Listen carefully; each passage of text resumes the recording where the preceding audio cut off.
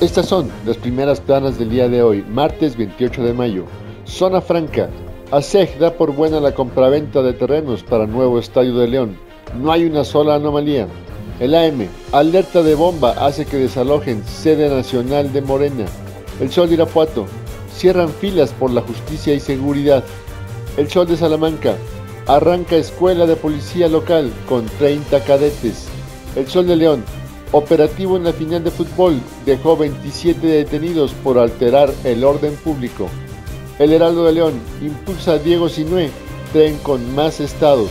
El Correo, se niegan alcaldes a cerrar dependencias. Milenio, Villagrán, primer lugar en tomas clandestinas.